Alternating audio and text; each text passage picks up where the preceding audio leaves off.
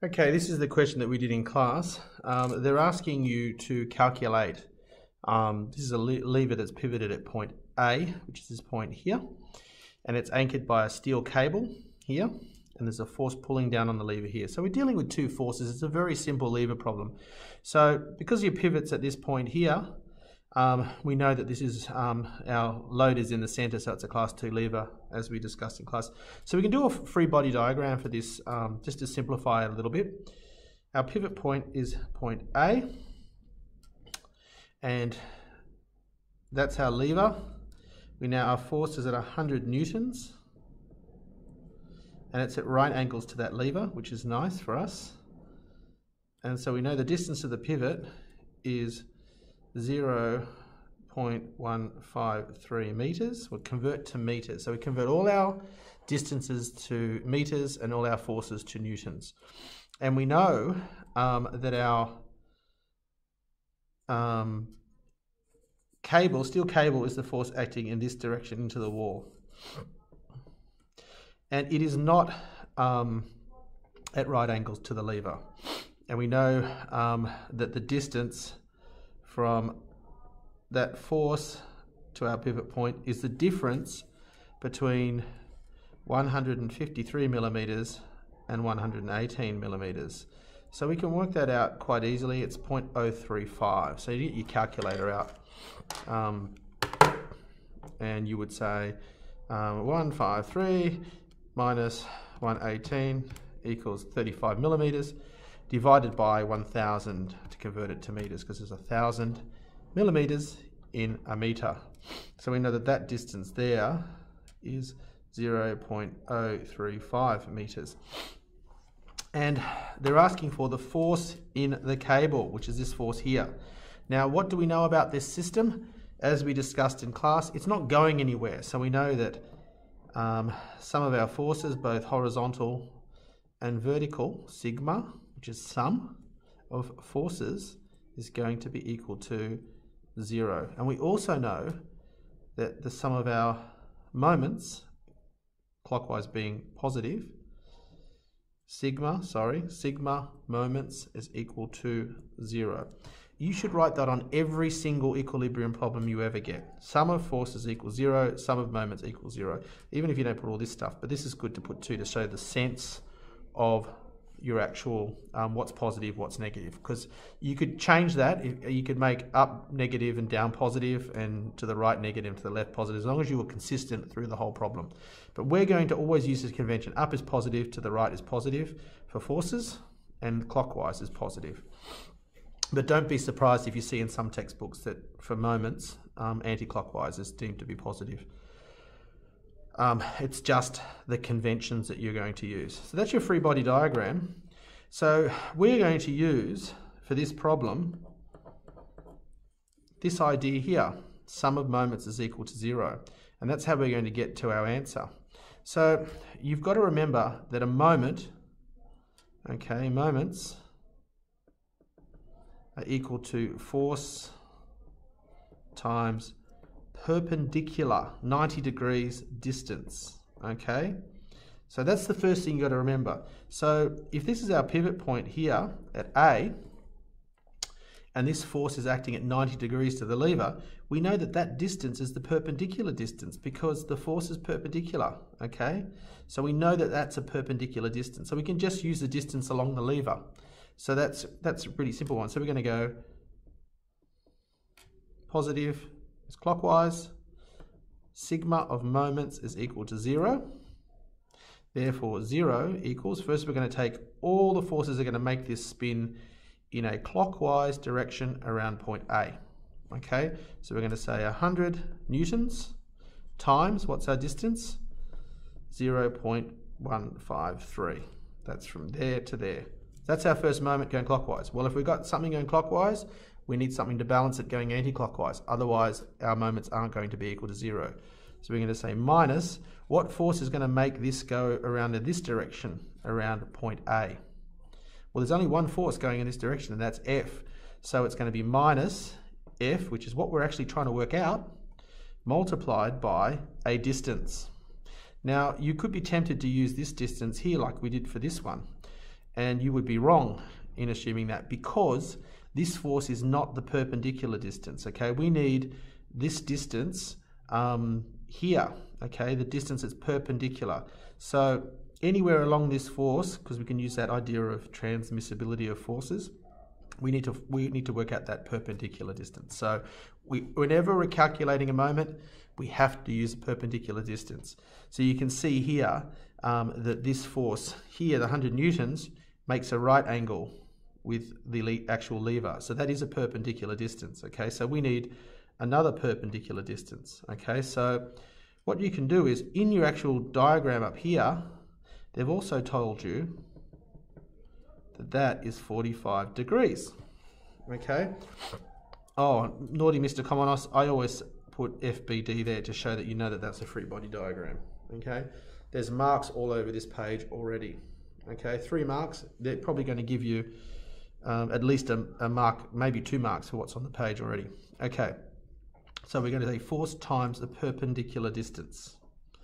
Do we know that distance? Okay, we don't know it, but if you look at this part of the free body diagram, you've got one side here, which is 0.035.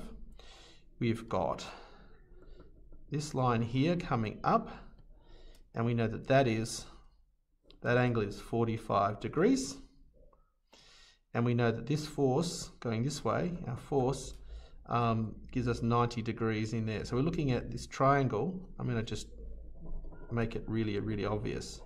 That triangle there, okay? We know that that angle is 45 degrees. We know that that's the right angle there. So this is the hypotenuse, 0.035, because we know that distance from there to there.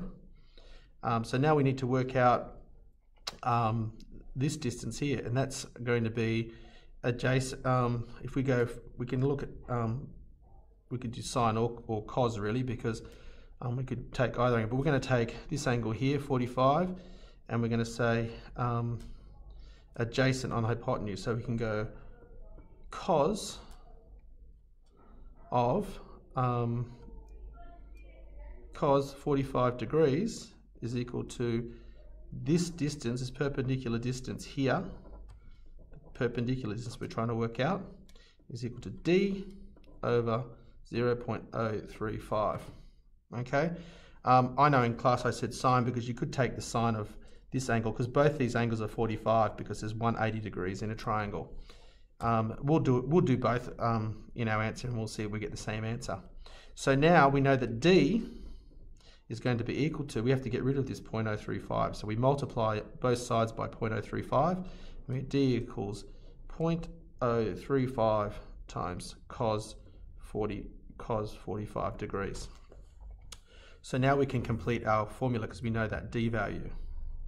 So we're going to say 0 is equal to 100 by 0.153 minus f times 0.035 times cos 45 degrees. And now all we have to do is solve for f. So I'm going to take all of this over the other side. I'm going to say um, 0.035 times cos 45 degrees f is equal to, and we're going to do the um, 100 times 0.153.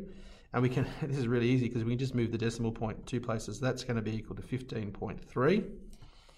And now we have to get rid of this um, 0.035. So we divide everything by 0.035 times cos 45 degrees.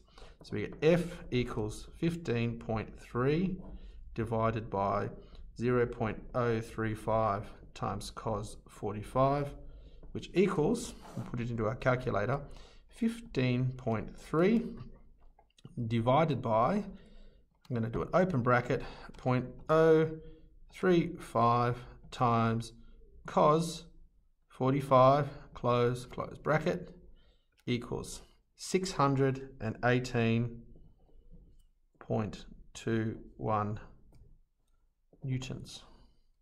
And we know if we're pulling on the lever this way, that this is going to be in tension because compression is squashing something, tension is pulling something. Okay, so we can say that that is going to be tension. So you can put in brackets tension. Okay? And you could even, if you want to be a real smart ass about it, put an arrow going this way as well to show the direction, horizontally to the left. That is your answer. 618.21. Now I was saying you could have used cos as well. If I put in um, 15.3 uh, divided by 0.035 times sine 45, um, we're going to get the same answer, sorry. Uh, 15.3 divided by open bracket 0.035 times sine 45, close bracket, close bracket, 618.21. Because we know that um, sine 45 degrees is equal to 0.707 and cos 45 degrees is equal to 0.707. So for this instance, um, you could use um, either. But like I said, if you're if you're looking at that triangle, we knew the hypotenuse. We needed to calculate the adjacent. So cos is the correct correct one to use for that situation.